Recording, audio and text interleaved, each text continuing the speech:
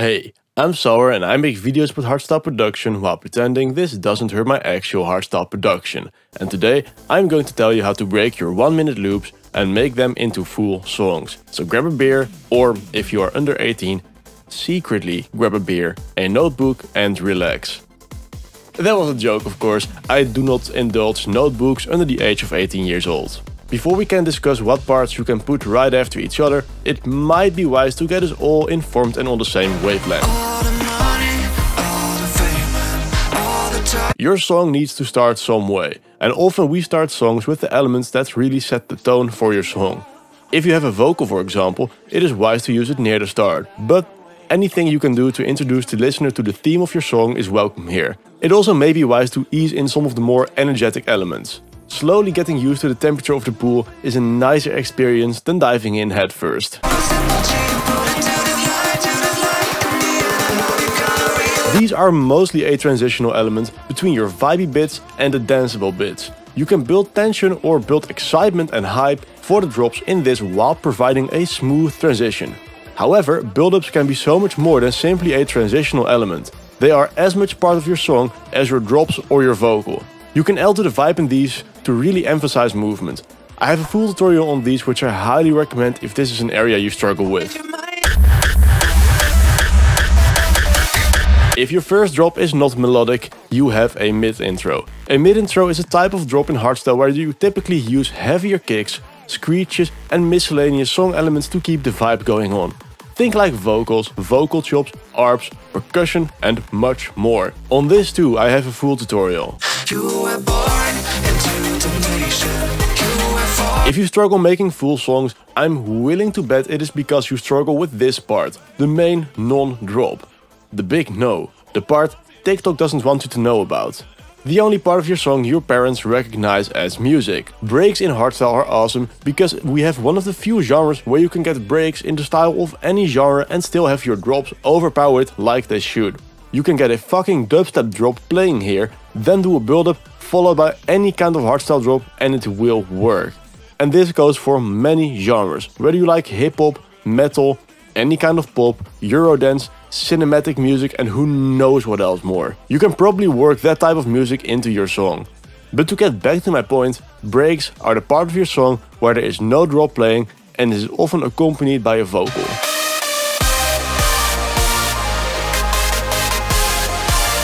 Hardstyle has melodies, but not all parts of the song where a melody plays full out is a drop. Sometimes you want to play the melody outside of a drop kind of situation. That part goes by many names. Melody break, melody introduction, the list probably goes on but I didn't research it.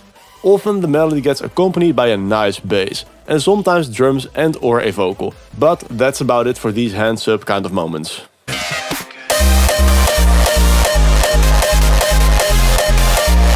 The part everyone who isn't predominantly into extra raw loves the most. A melody with a sick lead. Watch this video to see how that's made. And a nice heavy pitched kick. The kick itself becomes part of the melody in some way, as the bassy tail gets pitched to the corresponding note of the bass line of the melody. I know someone is going to fight me on saying bassline is not part of the melody, However, if you also happen to be the type of person who struggles fitting a bassline to your melody because you see them as separate, which they are not, it might be wise to shut up. This can be another melodic drop, often decked out to the brim to end on an epic high note, with whatever the producer can think of to make this as epic as they can. Or, with the rise of raw influence in mainstream, this could be just another non-melodic drop with heavy kicks. However, the term mid-intro does not apply here as this wildly confusing term only applies if this is the first drop. Why you ask? Because you touch yourself at night and God hates sinners. In these cases it is called an anticlimax. Bonus points if you make the illusion in the build-up that the melodic drop is about to follow.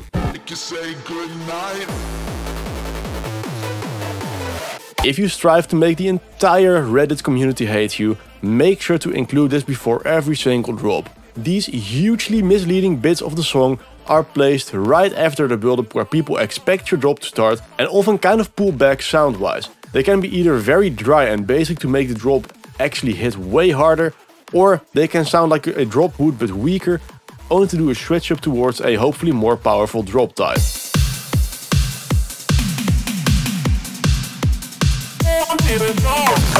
While a song starts with this, I decided to talking about this last, as most times when you listen to a song, you don't hear this. A mix intro or DJ intro is mainly there to aid in transitions in DJ sets, and songs often come in two versions. A radio edit, aka the cuts you listen to, and the extended cut, the version you should buy if you plan to DJ. These are often very simple, very dry, feature a 4 on the floor type beat and if you want to learn more about this, I have a video about this linked there. If you clicked on this video and it wasn't by accident, chances are you are trying to learn hardstyle production. This level of mind reading of mine can directly be applied to your music in one-to-one -one music production lessons with me. I can tell you what you are stuck with, how you can improve and how you can practice while giving tips and tricks on where to get the stuff you need, all based on your projects. If that sounds good to you, hit me up on Fiverr to see what I can do for you. See you there. Have you ever searched for tutorials about making anything drop related, like kicks, leads or melodies? Have you ever done the same thing about breaks? If you did, did you do it with the same frequency as you did for the drop related things? No you didn't, you liar! Let's face it, the drops are not even half of your song and we collectively neglect the biggest part of our songs only to then wonder why we can't figure out something to do with the breaks. My advice, listen to other genres.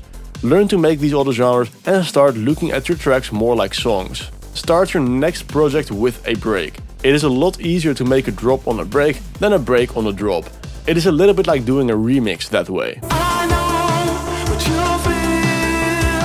You got a fun vibe for your break and a cool drop to follow it. You made it, right? No, of course not. Why do you think I'm bringing it up before the video ends? You need to make sure your song has a progression going on. Every part should be engaging, which can be tricky. A rule of thumb, if you have more than 8 bars playing that don't really feel different, make techno. Us hardstyle folks are not exactly the patient type, and while it is honorary to try to change this for the better, I doubt you'll be successful. I'm not saying you should get rid of those minute long intros. If you like those, hell yeah, make them. However, make sure your song kind of earns that. After 8 bars, either add or remove something to alter the flow. If you have a vocal, look for parts where it changes in intensity. If the vocal gets more or less intense, make sure the instrumental reflects that. I listen to a lot of music made by people like you. I do private lessons, remember? Hit me up on Fiverr for more on that. Hey. While everyone brings their own unique problems, there are some that just keep popping up frequently. Let's list a few and see where you can prevent this from happening to you. Sustained chords, often played with a piano-like instrument recklessly plopped into the project is one way to effectively communicate you didn't think about that part of the song. While it is good to form your own personality, listen to your favorite songs and try to find those in there. Break them up like it is a Taylor Swift album. Alter the pattern, get a different sound, just do anything but this, I beg you. Texture is anything to add background details into your song. This can be a subtle but busy hi-hat pattern, an interesting pad, maybe a cool delay on the ARP you got going on, maybe just the way you process the background vocals, or anything. A lack of texture makes it sound flat. You don't need to overly detail it and add stuff for the sake of adding stuff, but you can enhance the stuff you already have to make it feel completely different.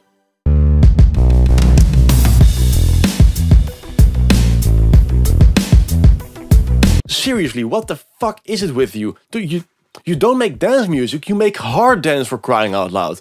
Why does only a quarter of the runtime in your song reflect the idea that people might want to dance on this? Some drums really do wonders with most vocals. Some drums can really break the idea of the ever-going snare builder compilation in your build-ups and they can even spice up kick rolls and melody introductions. Don't be a dum-dum, add a drum drum. Fuck that was bad, even for me. Point being, just add drums to your songs, it is embarrassing how we all forget it.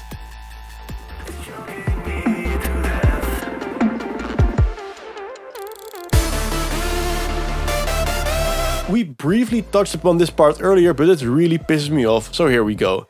Any captivating story has a beginning, where you get introduced to the vibe, a middle where stakes rise and you get attached to the characters involved, and an ending where all the tension releases into one epic whatever. Why do I tell you this? Because it vaguely reflects how you can build your songs. Granted, the comparison works best for emotional bangers, but nevertheless, you want there to be a certain progression. If the build up before the last drop sounds identical to your first, why would people expect anything different? You are playing with expectations in music. Make sure you not only deliver, but also raise the stakes. Fuck, I hope this made sense to some of you. Glad I got this rant out of my system. I think the most important takeaway is that you should take all the other bits as serious as you do for the drops. I can literally see what tutorial topics perform well and which one don't and it just shows anything drop related gets more attention. It makes sense but it is stupid. If you actually spend time learning to make general music and produce with a focus on songwriting, you will see improvement. Let me know in the comments if a video about songwriting or general break production would be something you'd like to see. Any other video suggestions are of course more than welcome as I like tailoring videos on your demand to ensure I can actually help my subscribers. If that word took you by surprise, subscribers are a special breed of people who statistically make better music and generally look more handsome than regular people. You can become one of them by clicking this fun looking red button underneath the video. And if you ring that bell next to it, you can be sure that you don't miss any future uploads. With all that being said, it was a pleasure to be your host once again until we meet again.